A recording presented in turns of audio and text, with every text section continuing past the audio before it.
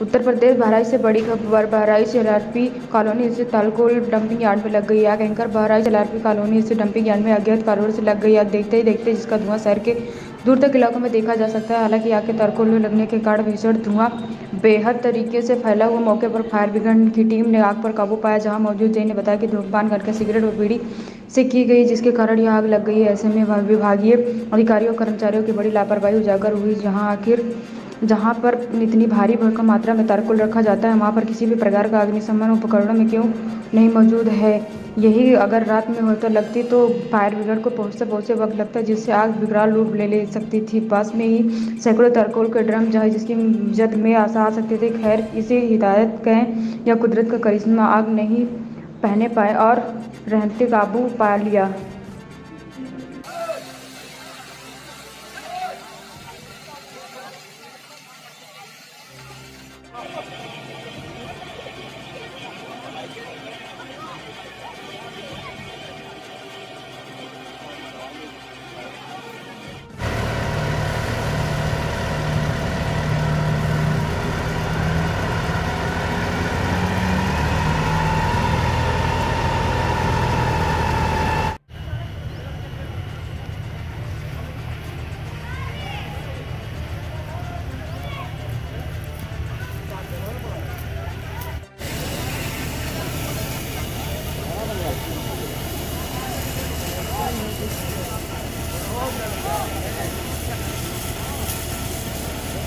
एक मिनट क्या नाम है आपका सर?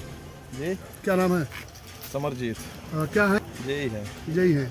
आग किन का है? नुकसान कुछ नहीं हुआ इधर देखिए। जला है। जी। हाँ कुछ जला नहीं हमारा।